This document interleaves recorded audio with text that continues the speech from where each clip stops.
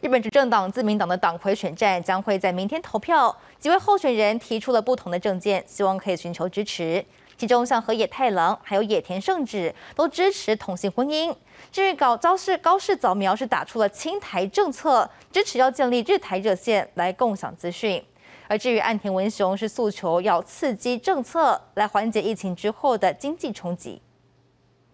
日本自民党党魁选战从十七号公布候选人名单后正式开跑，每位候选人都各自提出了不同政见。其中特别的是，支持率最高的河野太郎再次提出支持同性婚姻，让为 LGBTQ 权利发声的活动家，对日本改变同婚的现况充满期望。河野先生はこれまでも同性婚には賛成だっておっしゃってくださってましたが、まあ改めて。 あの世の中の注目を浴びてる総裁選の中で、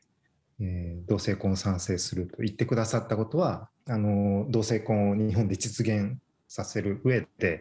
あのとても大きな意味を持つと思います。专家分析，河野除了支持同婚，也支持夫妻使用不同姓氏，同意皇位能由女性继承，意在拉拢改革派的议员支持。而民意支持第二高的安田文雄，除了日前提出要针对人权问题设置首相辅佐官，也打出了要以数十兆日元的刺激政策对抗疫情造成的经济冲击。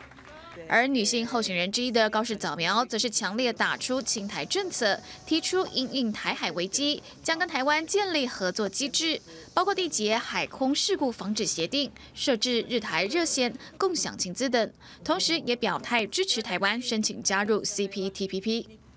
至于民调支持只有百分之三的野田圣子，除了也支持同婚、倡导女性平权之外，也着眼解决日本出生率下降、人口快速高龄化的问题。